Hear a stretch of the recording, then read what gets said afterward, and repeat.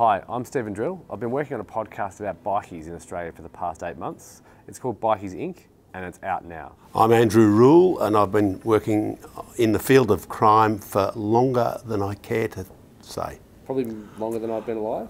Longer than you've been alive is not quite right, probably, although you, when I had you, you are in your 40s. I, oh, yeah, just now. Well, I have been working longer than you've been alive, sadly. Well, Most, not always in crime. Well, we sort of have a s- different perspectives on it. Like what I've been speaking to with police across the country the past sort of eight months is they're saying that bikies have changed and they've become a bigger business and, and much more organised than they were in say the 80s and 90s. Have you I think that that's change? true. I can remember meeting uh, one of the early Finks in the 70s in, in Sale, Victoria. In the 70s, they just started up, I think, up the coast somewhere or around, um, you know, Lithgow or somewhere like that up there. And I ran into this guy who had been w- with them uh, in Sale and he told me a bit about the Finks. And at that stage, they were just sort of dirty, mean, nasty, low down things who, who revelled in, you know, grease and dirt and grime and doing disgusting stuff, basically. And they've evolved into these, over decades, into these Nike bikies who are really slick, organised crime figures. Big difference. Uh, It is a big change, and what's huge now is the money that's been going through. We, uh, for the podcast, we found out that bikies are making $8 million a day out of illegal drugs in Australia, and they're only a fraction of the market.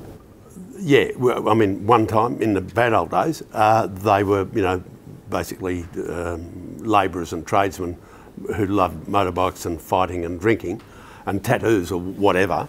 Now, highly organised, making all that money out of, you know, really big time contraband, mainly drugs, but also guns and other stuff. But also, it just shows how wealthy Australia is, and I don't think people quite realise how you know much money is in this country. We've got a, an economy about the size of Russia's, Yeah. and we have 25 million people, Yeah. and they've got 130 or 160 million Yeah. people. So it, we, we've got a lot of cash, and a lot of people here will pay big money for drugs. So we're actually creating the, the, market for the bikies to, to exploit. Yeah, by world standards, we are a target market because how leisure class is willing to pay big money for what we call the party drugs. Well, co- coke can be like up to $400 a gram in Sydney. and It's a, it's a lot of money for a night. And Much cheaper overseas. You've been in London. I have have been in London. I you'd understand. It, it, it's uh, a lot cheaper in London, and a lot of different things. Uh, uh, you know, ecstasy is the price of a beer in, in London. It's it's quite um, surprising. Whereas T-bone steak, not so much. T-bone steak is no, you you're not really eating steak, and when you do get some from the supermarket, they're about this thick. Yes. Uh, it, it's not ideal.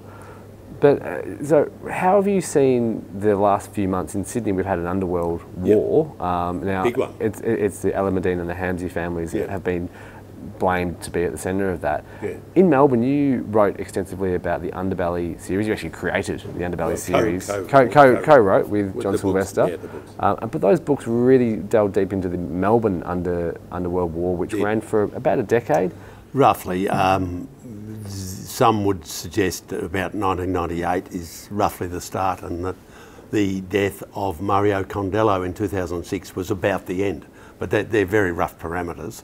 And in that time, you know, 28 or 30 people were killed who you would call part of that underworld war. Some of them, not all of them, were, were a direct uh, part of a direct vendetta. Most of them, though, were part of a vendetta between two warring groups. So it became about ego. Ego, uh, uh, ego as well as money. Yeah, starts out with money and then it becomes ego and, and just bloodlust and revenge. Well, and that's one of the suggestions in Sydney. It was about a four hundred thousand dollar drug Which dispute, which is then lot start.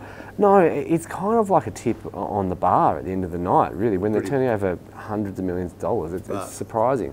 Yeah, ego, honour, pride, all those words.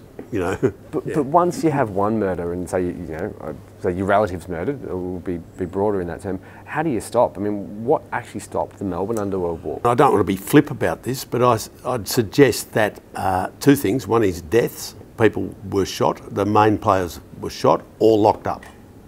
Um, and the, the, the more careful operators who, who didn't get themselves shot sort of dropped out and lived a safer life, some of them, and retired from the field. But the police did a big, good job, uh, Purana, uh, of they took a while to catch up with the crooks, but when they did, they did a great job and they locked up a lot of them. And the crooks did a good job of killing each other. So those two things sort of brought it to a, a natural close. Well, in Sydney, it's been about 13 murders in 18 months. Yep. Uh, it's pretty serious. It is serious, and we've had uh, And about not over yet. a few months where we've we've had sort of no no shootings. I mean, the last Yeah. one was at, at, a, at a gym for goodness sake, and Yeah. there's also been one uh, at a gym next to a childcare centre where Yeah. it was lucky a child wasn't killed. Unbelievable. Um, this is the great danger. It's people often, you know, citizens often say, "Oh, it's all right. They just kill each other." Yeah, that's all very well, but the reality, as you know, and you've been doing this more than anyone, as you know, the reality is that guns get, you know, shots are sprayed around.